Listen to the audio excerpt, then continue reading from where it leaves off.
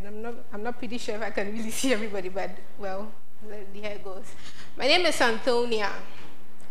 Three years ago, I managed to find myself into fashion.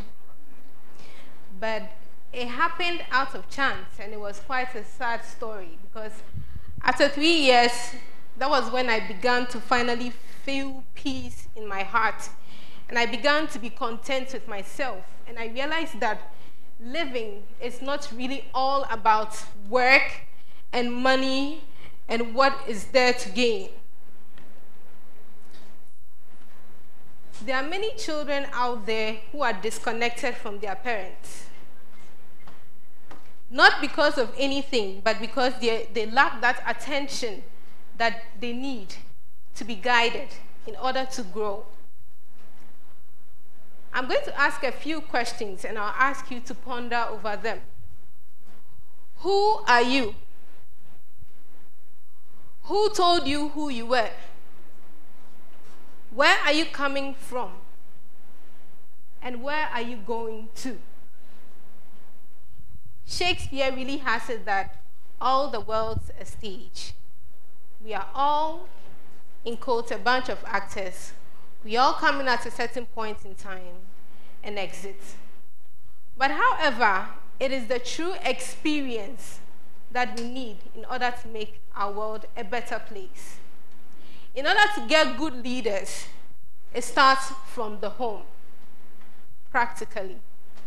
And I'm very thankful to my father and my mother for all the things they've done for me, because other than that, today I wouldn't be here to share my story.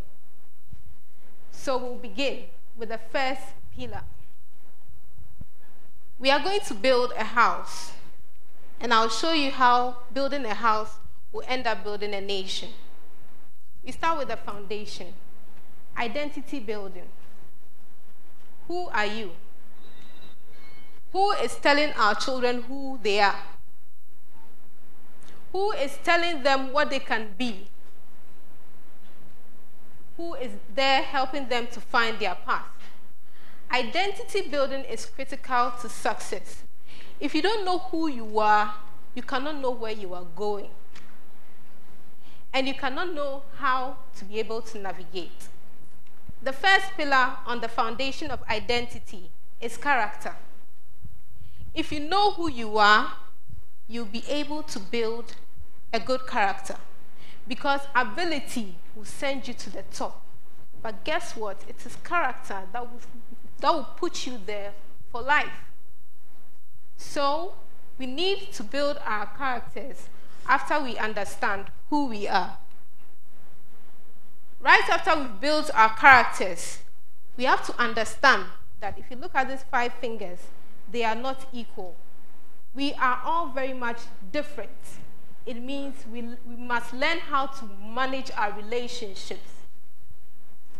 I came out of a family of five, five kids, and I'm number four.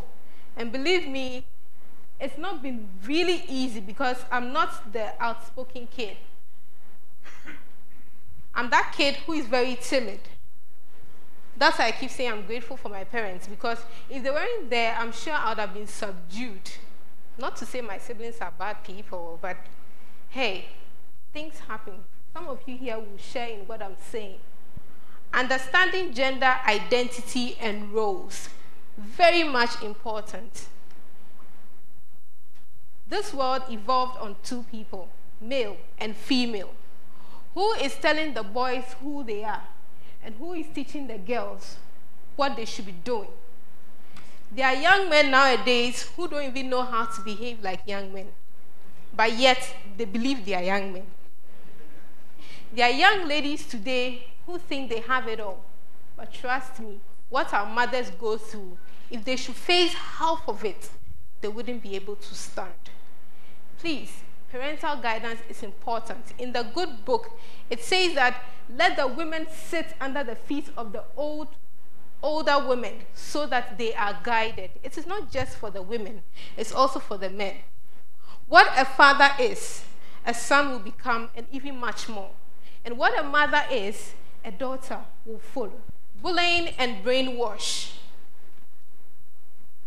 Bullying doesn't just come from external from the external forces. Let's go into the home. There are some of you who pick on your siblings. Some of you who literally beat your siblings. If you are like that, please, today, for my sake, stop. Because what you're doing is that you are crushing the spirit of somebody. And you don't know how it feels like if your spirit is crushed. I've been there for eight good years, and it's not been funny. It's really not been fun. Parents must constantly monitor what is going on between the kids. Because if they are able to bully their own right from the house, when they become politicians, guess what? They will be bullying all of us. And if you become a global leader, well, Idi Amin goes. That is how it happens.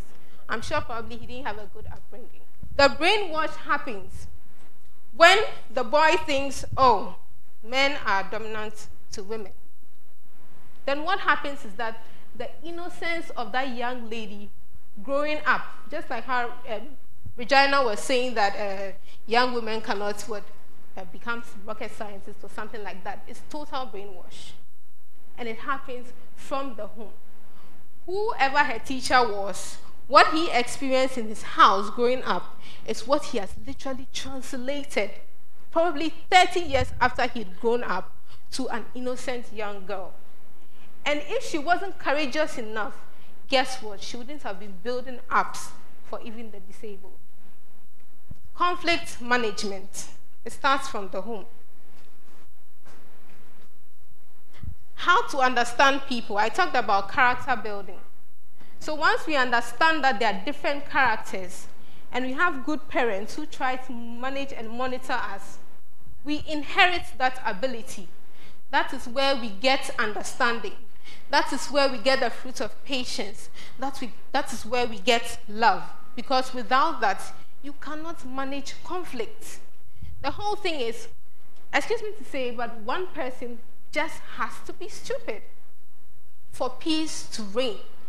But in the art of stupidity, it's not really stupidity, but it's just humility. And it all starts from the home. What kind of homes are you building? And you really have people in your homes, or you have things standing there pretending to be people? That's it. We finally built our house. To roof the house is what? Leadership and responsibility.